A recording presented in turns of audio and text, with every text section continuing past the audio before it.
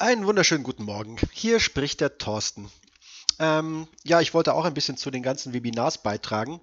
Und äh, da ich mittlerweile, wenn ich eine Brücke mache, mich drei Tage nicht mehr bewegen kann, habe ich von sportlichen Videos abgesehen. Hm.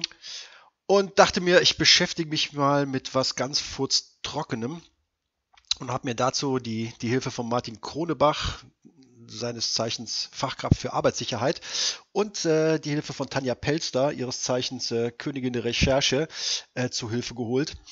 Und äh, ja, wir wollen uns mal um diese Dinger kümmern, die hinten an der Dispo dranhängen und äh, die eh keiner liest. Ich möchte mal darauf eingehen, warum diese Gefährdungsbeurteilungen eigentlich so wichtig sind. Äh, Holger Schumacher hat an dem GSA-Wochenende der Mitgliederversammlung ja schon mal ein Seminar darüber gehalten, äh, wie man sie schreibt und wofür sie eigentlich sind. Aber ich möchte mal auf die, auf die rechtliche Seite ein bisschen eingehen, des Arbeitsschutzes auch. Und da starten wir mal mit einem, mit einem Satz, den wahrscheinlich jeder schon mal gehört hat. Jeder hat das Recht auf Leben und körperliche Unversehrtheit. Hat wahrscheinlich schon mal jeder gehört, oder? Das ist nämlich der zweite Artikel unseres Grundgesetzes. Aber was hat dieser Artikel jetzt eigentlich mit uns und den Gefährdungsbeurteilungen zu tun? Hm, wie das Ganze jetzt zusammenhängt, das versuchen wir jetzt in diesem Webinar euch mal ein bisschen näher zu bringen.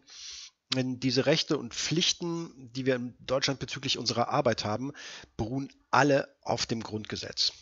Und äh, die ganzen Sachen werden mit den ganzen Regeln und Vorschriften werden immer weiter konkretisiert. Und hierzu gibt es eine schöne Grafik. Die zeige ich euch jetzt. Anhand der Pyramide können wir sehen, dass es einen ganz schönen Wust an Regeln, Gesetzen und Informationen gibt. Und wir werden jetzt mal versuchen, uns gemeinsam da durchzukämpfen. Das Grundgesetz haben wir ja schon angesprochen. Das nächste, was uns in dieser Pyramide betrifft, ist das sogenannte Arbeitsschutzgesetz. Viele denken, weil sie Freiberufler sind und nicht angestellt, betrifft sie das Ganze nicht. Das ist aber leider falsch. Der einzige Unterschied ist, wie wir sehen werden, ist, dass die Dokumente auf einige unserer Berufsgruppen, nämlich Stunt-Koordinatoren, Headrigger, Safety Diver, einen direkten Bezug nehmen und auf andere Berufsgruppen wie Stunt-Double, Stunt-Performer nur einen indirekten Bezug. Wir starten jetzt erstmal mit dem Arbeitsschutzgesetz. Der zweite Abschnitt, darum geht es um die Pflichten des Arbeitgebers. Und ab dem im Hinterkopf, alles, was wir jetzt behandeln, reduziert sich eigentlich auf den einen Satz, jeder hat das Recht auf Leben und körperliche Unversehrtheit. Also, die Grundpflichten des Arbeitgebers. Der ist verpflichtet, Verbesserungen zur Sicherheit und Gesundheitsschutz der Beschäftigten anzustreben. Äh, dazu muss er die Maßnahmen planen und durchführen führen und äh, erforderliche Mittel bereitstellen und Vorkehrungen treffen. In Paragraph 5 geht es um die Beurteilungen der Arbeitsbedingungen. Der Arbeitgeber muss die Gefährdungen ermitteln, die am Arbeitsplatz herrschen und ähm, muss Maßnahmen aufzeigen, die für den Arbeitsschutz erforderlich sind. Gleich darauf folgend der Paragraph 6 besagt, dass er das auch dokumentieren muss. Also, der Arbeitgeber hat die Pflicht, das Ergebnis der, äh, der Gefährdungsbeurteilung und die festgelegten Maßnahmen des Arbeitsschutzes zu dokumentieren. In Paragraph 7 geht es über die Übertragung von Aufgaben. Also man geht nicht davon aus, dass der Auftraggeber alle Arbeiten selbstständig erledigt, sondern er auch äh, äh, Aufgaben überträgt. Und äh, dazu ist es wichtig, dass er entscheidet oder prüft, dass die Beschäftigten auch fähig sind, diese Aufgaben auszuführen. In Paragraph 8 geht es um die Zusammenarbeit mehrerer Arbeitgeber. Hm, das ist gerade was, was uns bei Filmen äh, natürlich arg betrifft. Dort ist, äh, sind so viele Leute zusammengewürfelt, verschiedene Subunternehmer, Leute aus anderen Gewerken. Äh, und da muss der Arbeitgeber wirklich darauf achten, dass die ganzen anderen Gewerke, Leute aus den anderen Betrieben eine angemessene Anweisung erhalten und äh, über Sicherheit, Gesundheit während ihrer Tätigkeit auch informiert werden. So langsam kommen wir in den Bereich, der für uns interessant ist, und zwar Paragraph 9 besondere Gefahren. Der Arbeitgeber hat Maßnahmen zu treffen, dass nur Beschäftigte Zugang zu gefährlichen Arbeitsbereichen erhalten, die vorher eine geeignete Anweisung erhalten haben. Ähm, das ist jetzt gerade so ein Bereich, der uns betrifft, gefährliche Arbeitsbereiche, Fahrszenen. Auch hier muss ein Arbeitgeber natürlich gewährleisten, dass der ganze Bereich abgeblockt ist und nur unterwiesene Personen Zugang zu diesem Bereich äh, bekommen. Und dazu ist es aber auch wichtig, dass alle Beschäftigten frühzeitig von dieser Gefahr unterrichtet werden und über die äh, und Schutzmaßnahmen natürlich unterrichtet werden. Ich weiß, das waren jetzt mal richtig viele trockene Gesetzestexte und vielleicht hätten einige lieber meine Brücke gesehen, auch weil sie sich vielleicht denken, ja, es geht uns ja nichts an. Wir reden hier von Arbeitgebern und das sind ja eigentlich die Produktion bzw. die Produktionsleiter. Da, das stimmt aber leider nicht ganz.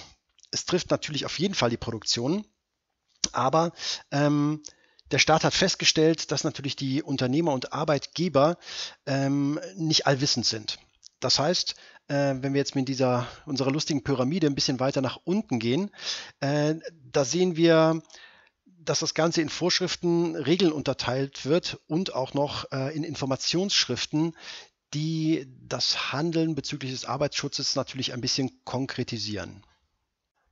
Ganz weit unten äh, sehen wir die Fachinformation der UVT, des Unfallversicherungsträgers. Äh, und in, genau in so einer, nämlich der DGUV Information 215 315 besondere szenische Darstellung, steht folgendes. Weiß der Unternehmer nämlich nicht mehr weiter, muss er sich fachliche geeignete Personen mit der Leitung und der Aufsicht der Szene beauftragen. Ja, und schwupps sind wir beim Stunt Coordinator gelandet.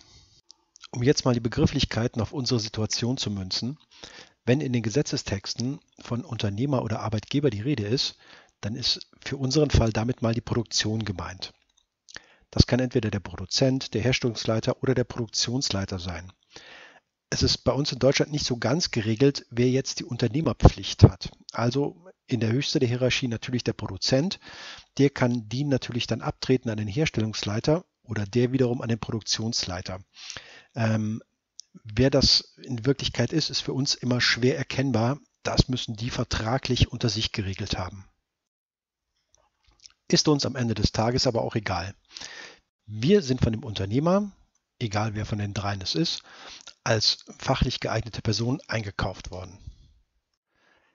Diese Person ist der Stunt Coordinator und der berät den Unternehmer in den Gefahren der besonderen szenischen Darstellung, sprich dem Stunt. Diese Gefahren werden dokumentiert in der Gefährdungsbeurteilung und dort werden dann auch Maßnahmen, um die Gefahren zu minimieren, beschrieben und dargestellt.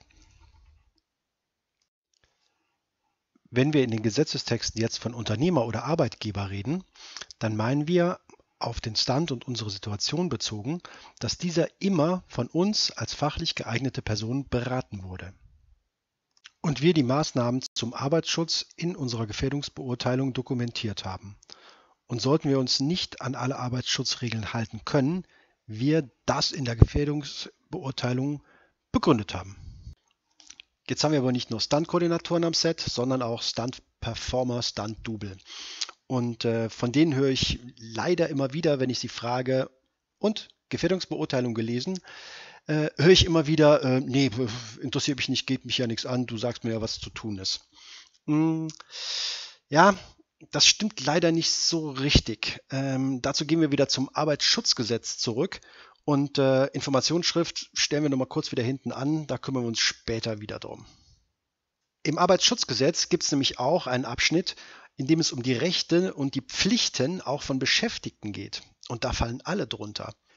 Die Beschäftigten sind nämlich verpflichtet, für ihre Sicherheit und ihre Gesundheit bei der Arbeit selbst Sorge zu tragen.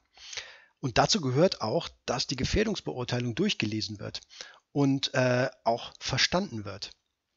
Natürlich gehört auch dazu, dass die äh, persönliche Schutzausrüstung, die äh, Ihnen zur Verfügung gestellt wird, vom Arbeitgeber oder von dem Stunt-Coordinator Stunt natürlich auch bestimmungsgemäß zu verwenden ist. Die Beschäftigten, also ihr alle, Ihr habt nicht nur für eure eigene Sicherheit zu sorgen, sondern auch für die Sicherheit und Gesundheit anderer. Also das heißt, solltet ihr erhebliche Gefahren sehen bei dem Stunt, vor einem Stunt, während dem Stunt, dann ist das unverzüglich zu melden. Mit anderen Worten, es hört sich so an, als äh, würde der dumme Zettel am Ende der Dispo doch uns alle was angehen. Kommen wir zurück zur Pyramide. Als nächstes haben wir jetzt die Unfallverhütungsvorschriften äh, der UVT und die staatlichen Verordnungen. Wir haben in Deutschland ein äh, duales Arbeitsschutzrecht. Das heißt, auf der einen Seite stehen die staatlichen Verordnungen, das heißt in Gesetzen verankert, und auf der anderen Seite haben wir die Vorschriften der Versicherungsträger. Und wer jetzt denkt, dass die Vorschriften einer Versicherung nicht bindend sind, der hat sich leider geirrt. Die Vorschriften der Versicherungen sind genauso rechtsverbindlich wie die staatlichen Verordnungen, die in Gesetzen verankert sind. Wo ich auch noch kurz darauf eingehen möchte, ist bei den staatlichen Verordnungen die Gefahrenstoffverordnung, mit denen wir Stuntleute eigentlich direkt mal nichts zu tun haben, Außer natürlich SFX ist äh, bei irgendeinem Stunt involviert und wir natürlich deren Gefährdungsbeurteilung gelesen haben. Aber äh, es gibt ja auch ein paar Leute, die nicht nur als Stunt arbeiten, sondern auch hm, gelegentlich mal die SFXler unterstützen. Und die sollten sich vielleicht auch mal mit der Gefahrenstoffverordnung beschäftigen.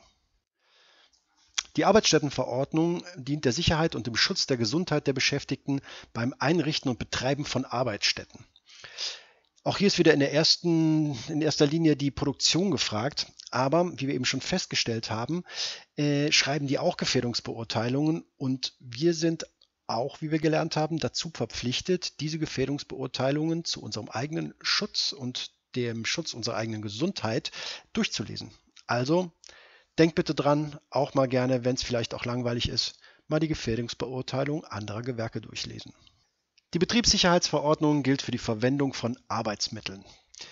Die Arbeitsmittel äh, sollen einmal gewährleisten die Sicherheit und den Schutz und äh, es müssen äh, geeignete Arbeitsmittel natürlich ausgewählt werden und äh, die Verwendung muss natürlich richtig und sicher vonstatten gehen.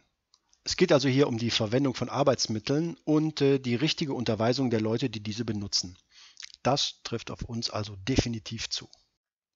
Und weiter geht's mit den Unfallverhütungsvorschriften der UVT, also die DGUV-Vorschriften. Da haben wir alle schon viel von gehört in Meetings, Arbeitsgruppen, bei der Mitgliederversammlung, Newslettern und so weiter und so fort. Aber was ist denn eigentlich der Unterschied zwischen den Vorschriften, Regeln und Informationen und an welche muss ich mich halten und inwieweit betrifft mich das überhaupt?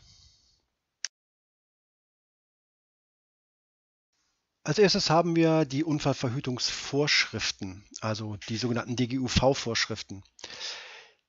Das sind verbindliche autonome Rechtsnormen, die von den Versicherungsträgern entwickelt werden. Also im Gegensatz zu den staatlichen äh, Verhaltensregeln sind das die Verhaltsregeln der Versicherungsträger und auch die sind rechtsbindend. Wir verlassen jetzt den äh, rechtsverbindlichen Raum und sind jetzt bei den Regeln und bei den Informationen. Ähm, hier gehen wir jetzt ein bisschen auf die einzelnen Branchen ein und äh, das Ganze bietet Hilfestellung bei der Umsetzung der Unternehmerpflichten. Die DGUV-Regeln sind jetzt eine Zusammenstellung bzw. eine Konkretisierung der Inhalte. Die DGUV-Informationen gehen jetzt noch weiter in die Praxis. Sie enthalten jetzt Hinweise und Empfehlungen für die praktische Anwendung ähm, und äh, ja wirklich konkrete praxisgeeignete Maßnahmen. Hä? Also, Vorschriften sind festgelegte Rechtsnormen, die für alle gelten und an die wir uns halten müssen. Es sei denn, aber da kommen wir später drauf. Regeln sind jetzt Konkretisierungen der Vorschriften für spezielle Bereiche, die in den Vorschriften vorher noch nicht abgedeckt wurden, weil sie nicht für die Allgemeinheit gelten, sondern ganz äh, berufsspezifisch sind. Informationen enthalten Hinweise und Empfehlungen für den Anwender, um die Vorschriften und Regeln des Unfallversicherungsträgers richtig umsetzen zu können.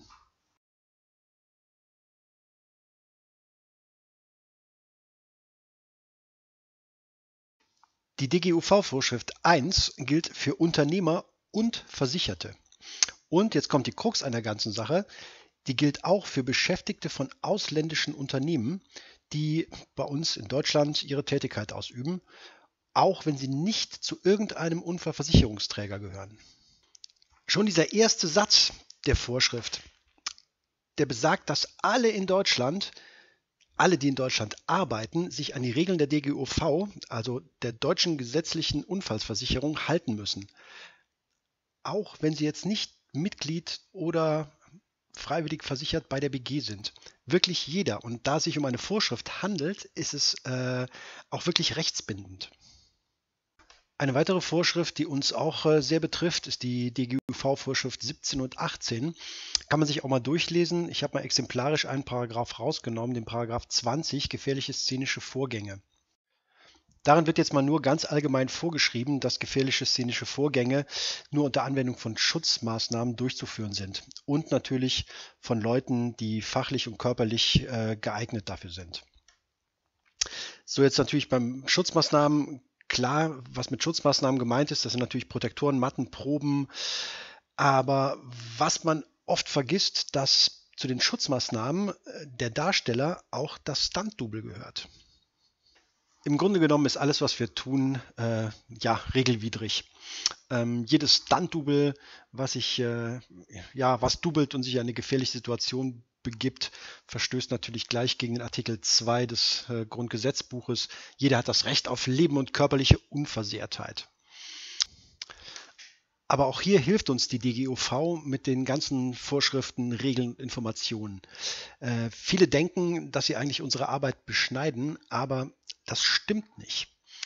Ähm, was wir natürlich tun müssen, ist diese Gefährdungsbeurteilung schreiben. Sie ist für uns ja wirklich lebenswichtig und kann uns ja im Extremfalle sogar vor dem Gefängnis bewahren. Aber hier komme ich später noch einmal drauf zurück. Ähm, eins aber schon mal angemerkt, die Gefährdungsbeurteilung ist jetzt nicht nur für Stunt Coordinator, Headrigger, Safety Diver und so weiter wichtig, sondern auch für Stunt Performer, Stunt Double. Auch wenn ihr die Dinger nicht schreiben müsst, ihr solltet sie zumindest lesen und verstehen.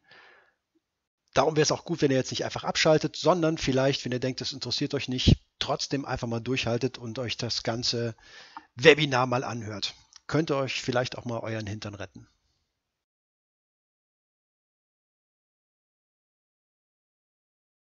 Aber wie hilft uns jetzt die Unfallversicherung dabei? Es gibt da verschiedene Artikel, die für uns wichtig sind die werde ich jetzt mal rausnehmen und weiter besprechen. Im Anschluss an das Video gibt es aber einen kleinen Link und äh, dann könnt ihr euch selbst nochmal einen Eindruck davon machen. So kommen wir hier nochmal zu den Grundpflichten des Unternehmers. Der Unternehmer hat die erforderlichen Maßnahmen zur Verhütung von Arbeitsunfällen zu treffen. Und in staatlichen Recht bestimmte Maßnahmen gelten auch zum Schutz von Versicherten, wichtig, die keine Beschäftigten sind. Wir sehen hier ein paar Sachen, die sich jetzt aufdoppeln. Das eine oder andere hatten wir auch schon im Arbeitsschutzgesetz. Hier werden die Sachen jetzt etwas konkretisiert. Das heißt also mit anderen Worten, auch wenn der Stunt Coordinator oder die Produktion euch nicht angestellt hat, ihr also auf Rechnung arbeitet, so müsst ihr trotzdem dafür sorgen, dass die Regeln zur Sicherheit eingehalten werden. Klingt jetzt so, als wäre das noch keine wirkliche Hilfe, um aus dem Schlamassel rauszukommen, aber richtig, es ist trotzdem wichtig. In Paragraph 2 Absatz 3 haben wir stehen, dass der Unternehmer die Maßnahmen an veränderte Gegebenheiten anzupassen hat. Dieser Artikel ist auch sehr wichtig für uns. Nehmen wir jetzt mal an, wir haben einen Stunt geplant. Fahrszene, mehrere Autos daran beteiligt, haben das Ding auch ein, zwei Tage geprobt. Das Ganze bei Sonnenschein und trockenen Straßen. So, jetzt kommt es zu der Situation, am Drehtag fängt es an zu regnen, Straßen nass und wir haben völlig neue Gegebenheiten dann bedeutet das, dass der Unternehmer die Pflicht hat, die ganze Situation an die veränderten Gegebenheiten anzupassen. Das heißt, habt ihr in eurem Risk Assessment, in eurer Gefährdungsbeurteilung stehen, dass die Proben und so weiter bei schönem Wetter gemacht wurden und es jetzt regnet, ist das Ganze, die ganze Gefährdungsbeurteilung hinfällig. Das heißt, die ganze Situation, die ganze Gefährdung ist völlig neu zu beurteilen. Und im schlimmsten Falle muss der Stunt Coordinator, Stunt da stehen und sagen, wir drehen das heute nicht, es ist zu gefährlich. Nach neuer Risikoeinschätzung können wir das Ganze heute nicht durchführen. Und genau hier hilft uns die DGOV-Regel gegenüber der Produktion, weil auf sie können wir uns dann berufen, wenn es genau zu einer solchen Situation kommt. Das Ganze ist leider sehr, sehr trocken, ich weiß. Ich bin selbst beim Vorlesen schon dreimal eingenickt. Aber hat ja auch keiner behauptet, dass das Ganze lustig ist mit den ganzen Vorschriften und Regeln. Aber ist genauso wie Algebra in der Schule. Wir müssen da irgendwann mal durch. Und ehrlich gesagt, früher oder später, im Gegensatz zu Algebra, können wir das Ganze leider nur in einer schlimmen Situation auch brauchen. Der nächste Paragraph der Vorschrift 1 beschäftigt sich jetzt schon mit Gefährdungsbeurteilung. Und äh, damit ihr nicht völlig gelangweilt seid, habe ich mal die wichtigen Sachen rausgesucht. Und zwar die Beurteilung der Arbeitsbedingungen, Dokumentation und Auskunftspflicht. Der Unternehmer hat die Gefährdung zu ermitteln und auch die Maßnahmen, die dazu zu ergreifen sind, um die Gefährdung zu minimieren. Plus der Unternehmer hat das Ergebnis der Gefährdungsbeurteilung zu dokumentieren. Und vergesst jetzt nicht, dass wenn der Unternehmer uns als Stunt Coordinator eingekauft hat, um gefährliche szenische Darstellungen zu bewerten, wir diejenigen sind, die das zu dokumentieren haben. Mit anderen Worten, Stunt-Koordinatoren, Headrigger und Safety Diver, die müssen sich den Drehort bzw. das Motiv, an dem der Stunt passieren soll, vorher genau anschauen und sich einen Maßnahmenplan ausdenken, um den Stunt sicher durchzuführen. Den Plan muss man dann niederschreiben und das Ganze dann in der, ja, in Neudeutsch Risk Assessment, in der Gefährdungsbeurteilung dokumentieren und niederschreiben. Also weiter im Text. Der Unternehmer hat die Pflicht, die Versicherten über die Sicherheit und den Gesundheitsschutz zu unterweisen. Dahinter versteckt sich eigentlich nichts anderes als das Briefing, das es vor jedem Stunt geben sollte. Wer ist wo, wer macht was, was ist unser Plan B, wenn irgendwas schief geht, was sind die Rettungsmaßnahmen, wenn sowas nicht läuft, wie es eigentlich sollte? Und so weiter und so fort. Das Einzige, was man hier noch hervorheben sollte und das wir uns vielleicht alle angewöhnen sollten, selbst ich mache es relativ selten, ist die Continuity zu bitten, dass in Ihren Tagesbericht reingeschrieben wird, dass diese Einweisung für alle am Stunt beteiligten Personen stattgefunden hat. Also für Kamera, Grip, Ton, Schauspieler, Komparsen etc. Dass jeder gehört hat, vom Stunt gab es eine Einweisung und das schreibt die Continuity nieder. Hier haben wir auch noch einen sehr wichtigen Passus, und zwar die Befähigung für Tätigkeiten. Wenn der Unternehmer die Aufgaben überträgt, und zwar in dem Falle an uns, die Stuntfirma, den Stunt-Coordinator, ähm, hat er darauf zu achten, dass die Leute dazu befähigt sind. Das heißt im Umkehrschluss, es macht uns manchmal die Argumentation leichter, warum wir das ein oder andere Double nehmen oder das ein oder andere Double nicht nehmen, nämlich weil wir festlegen, ob diese Person befähigt ist oder nicht. Eigentlich ziemlich klar formuliert. Aber genauso wie der Paragraph 7 betreffen uns die Paragraphen 8 und 9 auch sehr stark. Auch wenn sie eigentlich keine weiteren Fragen aufwerfen, so sind sie doch für die Gefährdungsbeurteilung sehr wichtig. In Paragraph 14 wird es dann endlich spannend für uns. Denn hier geht es dann endlich um diese Ausnahme, die uns in unserem eigentlich ist alles, was wir machen, gegen die Regel Problem helfen wird.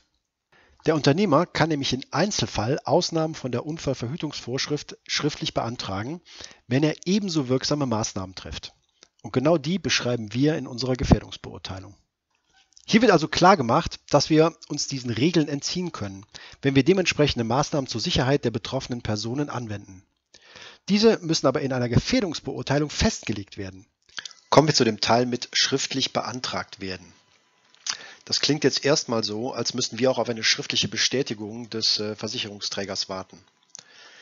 Das ist aber in der deutschen Filmindustrie, soweit ich das die letzten 20 Jahre erfahren habe, äh, keine gelebte Praxis. Bis das bei der BG eingereicht ist, sich jemand damit beschäftigt hat und das Ganze dann auch wieder schriftlich bestätigt, ist der ganze Film vorbei und schon der nächste angefangen. Darum habe ich persönlich äh, auch noch nie von einem Unfallversicherungsträger jemals eine Rückfrage erhalten. Die einzigen, die sich damit wirklich auseinandersetzen, sind die Ausfallversicherer der Produktion. Aber auch nur dann, wenn Darsteller involviert sind, also nicht bei Arbeiten mit Stunt-Double oder Stunt-Performern. Was mit der Gefährdungsurteilung passiert, wenn wir sie abgegeben haben, hat uns aber erstmal nicht zu interessieren, denn wir sind nicht der Unternehmer. Haben wir sie übergeben, dann haben wir bürokratisch gesehen erst einmal alles richtig gemacht. Wer das Dokument aufmerksam liest, wird über Paragraph 3 stolpern, in dem drin steht, dass die Maßnahmen des Arbeitsschutzes erst auf Wunsch vorgelegt werden müssen. Das steht jetzt im Gegensatz zu Paragraph 14, den wir gerade besprochen haben. Ich bin da selber schon öfter drüber gestolpert, aber Paragraph 3 bezieht sich auf die allgemeinen Maßnahmen und der Paragraph 14, der für uns gilt, auf die Ausnahmen. Das darf man nicht vergessen. Hier kommen wir jetzt zu einer weiteren Vorschrift, die für uns interessant ist, nämlich Maßnahmen bei besonderen Gefahren. Auch das haben wir schon mal gehört und zwar beim Arbeitsschutzgesetz. Das Ganze hier jetzt in der DGUV ein bisschen spezifischer dargestellt. Also allgemeine Pflichten des Unternehmers. Der Unternehmer muss die Versicherten über die Gefahren und Schutzmaßnahmen unterrichten. Der zweite Abschnitt des Paragraphen ist eigentlich noch viel wichtiger, nämlich die versicherten Personen müssen die geeigneten Maßnahmen zur Gefahrenabwehr und Schadensbegrenzung selbst treffen können. Mit anderen Worten, ihr Stunt-Double, ihr Stunt-Performer, ihr selbst müsst euch Pads anlegen, entscheiden auch, ob da eine Matte hinkommt, nicht nur der Koordinator. Und sollte euch mal ein Stunt zu gefährlich vorkommen, dann müsst ihr auch Nein sagen. Auch dieses Nein ist eine geeignete Maßnahme zur Gefahrenabwehr und zur Schadensbegrenzung. Hier kommen wir also wieder zum Schreiben, aber vor allen Dingen auch zum Lesen einer Gefährdungsbeurteilung. Mal ganz ehrlich, liebe Kollegen, wer von euch liest denn diesen blöden Zettel, der an der Dispo dranhängt? Kaum einer. Solltet ihr aber. Denn zusätzlich zum Briefing ist dies eine der Möglichkeiten, wie ihr auch auf mögliche Gefahren hingewiesen werdet. Und nicht nur, was Stunts angeht. Lest euch auch bitte die Gefährdungsbeurteilung von SFX und gegebenenfalls von den Tiertrainern durch. Euer Leben könnte von den Informationen auf einer solchen Gefährdungsbeurteilung abhängen. Klar denkt jeder, ich passe schon auf mich auf. Ich ziehe meine Protektoren an, ich habe meine Matte dahin geschoben. Aber jetzt sind wir mal ehrlich, wann war das letzte Mal, dass ihr die Rigger gefragt habt, wie das System, mit dem ihr gerade weggeschleudert werde, wirklich funktioniert und welche Sicherungs- und Rettungsmaßnahmen sie getroffen haben? Gut wäre mal wirklich ab und zu nachzufragen, wenn es nicht von selbst kommt. Erstens wisst ihr dann Bescheid und könnt, könnt eventuell beim Briefing spezifische Fragen stellen, die euch betreffen oder vielleicht auch Einwände erheben oder ihr lernt vielleicht einfach was. Kommen wir zurück zu unserer Arbeitsschutzpyramide. Wichtig ist vor allen Dingen eins. Alle Dinge, die wir heute besprochen haben, sind rechtsverbindlich. Das heißt, wir müssen uns an diese Regeln halten. Oder aber, wie wir eben schon erklärt haben, in einer Gefährdungsbeurteilung erklären und dokumentieren, warum wir es anders, aber genauso sicher für alle beteiligten Personen machen. Beim nächsten Mal erzählen wir euch dann noch was über bestimmte Informationsschriften, die unseren Alltag bei der Standarbeit beeinflussen die uns aber auch helfen, unsere Arbeit ein bisschen sicherer zu machen. Wenn ihr wollt, könnt ihr mal reinlesen, da niedergeschrieben die Lektüren. So, ich hoffe, es war nicht allzu langweilig und euch raucht nicht der Kopf. Falls doch zu langweilig war und ihr keinen zweiten Teil haben wollt, sagt bitte Bescheid, dann sparen wir euch die Mühe. Bis dann. Servus, der Thorsten, Martin und die Tanja.